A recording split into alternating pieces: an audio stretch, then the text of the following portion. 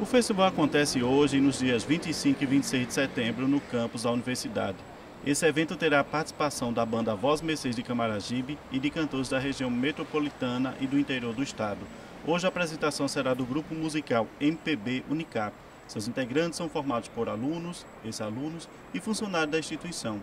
O objetivo desse primeiro festival de música regional é valorizar a cultura local e divulgar o talento de artistas que possuem seus trabalhos independentes.